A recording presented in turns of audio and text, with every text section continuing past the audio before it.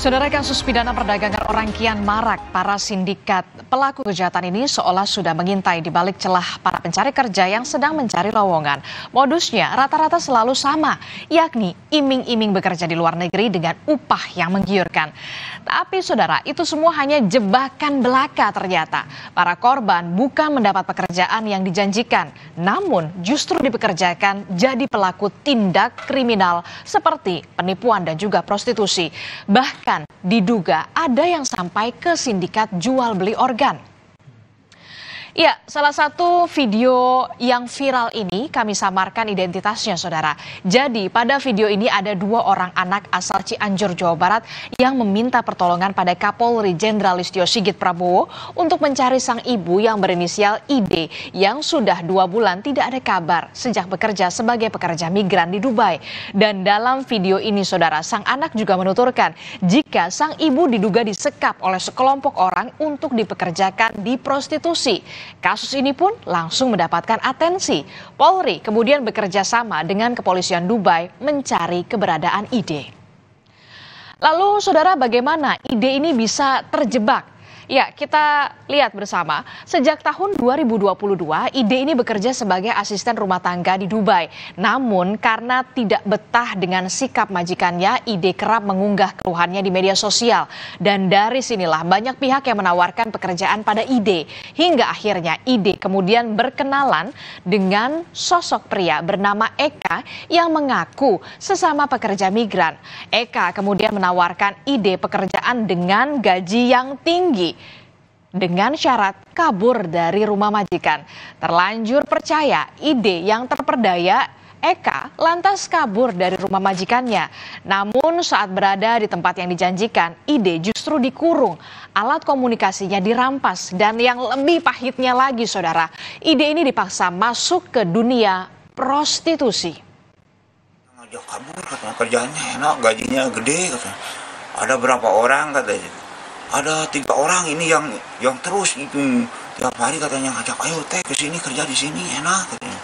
Terus mungkin ya orang-orang kayak gitu tempatnya pas di begitu di bawah ya begitu masuk mobil juga kan langsung di itu dirampas HP dirampas ada uang diambil kadang ada yang emas di, juga diambil gitu nah itu yang bikin kaget katanya ya Allah karena pas begitu dibawa ke tempat satu tempat itulah ruangan agak gelap gitu lah. Ya, atas laporan dari pihak keluarga, Polres Cianjur kemudian menangkap seorang pelaku bernama Rahmat. Rahmat adalah penyalur pekerja migran ilegal yang pertama kali menawarkan pekerjaan dengan iming-iming penghasilan besar pada ide.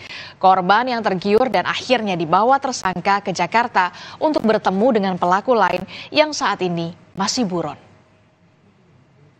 HR ini, uh, di mana HR mengiming-imingi uh, untuk bekerja sebagai ART uh, dengan janji gaji yang lumayan uh, tinggi dan tentunya menjamin atas kesejahteraannya. Kemudian sekitar bulan April 2022 setelah menyetujui sistem kerjanya, kemudian PMI ini diberangkatkan ke Jakarta oleh saudara M, saudari M. Yang uh, M ini bekerjasama tentunya dengan saudara HR ini. Ya, kepolisian Dubai akhirnya berhasil menemukan korban ID. ID kini sudah diamankan di shelter kepolisian Dubai, didampingi oleh Konsulat Jenderal Republik Indonesia Dubai. Dan selain ID, terungkap ada seorang pekerja migran lain asal Indonesia yang juga terjebak sindikat prostitusi di Dubai. Dan nantinya saudara, setelah pemeriksaan kesehatan, kedua pekerja migran ini akan kembali dipulangkan ke Indonesia. Selain pekerja migran asal Cianjur yang terjebak prostitusi, kasus perdagangan orang yang baru-baru ini terbongkar adalah soal kasus perdagangan organ tubuh manusia, jaringan internasional di Tarumajaya, Kabupaten Bekasi, Jawa Barat. Dan modusnya lagi-lagi sama pelaku mengiming-iming korban bekerja di luar negeri. Namun bukannya pekerjaan yang didapat, melainkan ginjal para korban diduga akan diperjualbelikan oleh sindikat ini. Kasus ini saudara pertama kali terungkap dari temuan akun media sosial Facebook dengan nama akun donor ginjal Indonesia. Dan saudara kami tunjukkan kepada Anda inilah rumah kontrakan di Bekasi, Jawa Barat yang dijadikan lokasi penampungan para pendonor sebelum dibawa ke Kamboja. Beberapa warga sekitar hanya mengetahui jika rumah ini mayoritas dihuni oleh anak muda yang mengaku akan bekerja di salah satu proyek bangunan di Malaysia. Para penghuni rumah juga kerap berganti orang. Namun warga setempat tidak ada yang mencurigai bagaimana gerak-gerik mereka hingga akhirnya pada 19 Juni rumah kontrakan ini akhirnya digerebek oleh polisi. Ya kemarin tuh saya lupa ya, mungkin daerah-daerah Jawa Barat. Ke mana itu kemarin? Hmm, Oke, udah berapa lama Pak mereka tinggal di lokasi ini Pak? Udah beberapa bulan sih, iya. Terus orangnya juga gonta-ganti gitu, jadinya kita nggak begitu mengenal banget gitu, karena sering gonta-ganti orang. Punya di sini warga sini tahunya sih mau kerja ke Malaysia gitu, ke bidang bangunan kayaknya katanya. Kebangunan di Malaysia? Di Malaysia, iya. Kayak kerja di bangunan katanya, di proyek lah kayaknya. Ya, Polda Metro Jaya menetapkan tersangka terkait dengan kasus jual beli ginjal jaringan internasional di Bekasi, Jawa Barat. Meski sudah menetapkan tersangka, tetapi polisi belum mau merinci beberapa jumlahnya. Selain itu, untuk apa motif dan bagaimana pula modus para tersangka baru akan dirilis setelah penyidik merampungkan fakta tindak pidana dalam kasus jual beli ginjal jaringan internasional. Sudah di tahap penyidikan dan adanya penetapan sebagai tersangka. Untuk uh, tersangka sendiri lebih dari satu atau gimana, Bang? Ya tentunya fakta-fakta yang didapatkan ada beberapa tersangka yang sudah ditetapkan. Pertanyaan selanjutnya, bagaimana modus yang digunakan oleh para pelaku? Berawal dari korban yang ditawari untuk bekerja di luar negeri. Lalu, para korban ditempatkan di suatu penampungan. Dan setelah itu, para korban akan dibawa ke Kamboja untuk diambil ginjalnya dan mendapatkan bayaran. Dalam menjalankan aksinya, para donor menggunakan paspor dengan tujuan wisata. Namun setelah tiba di lokasi, mereka ini justru menjual organ manusia di rumah sakit militer Kamboja. Dan yang juga sempat ramai adalah soal kasus 20 WNI di Myanmar diduga jadi korban tindak pidana perdagangan orang. Dan video amatir ini saudara memperlihatkan puluhan WNI meminta bantuan pemerintah Indonesia untuk segera dievakuasi. Mereka mengaku disekap dan juga dianiaya. Para korban semula ditawari pekerjaan di Thailand dengan iming-iming gaji yang tinggi pastinya. Namun ternyata mereka justru dipekerjakan di Myanmar di bisnis penipuan online.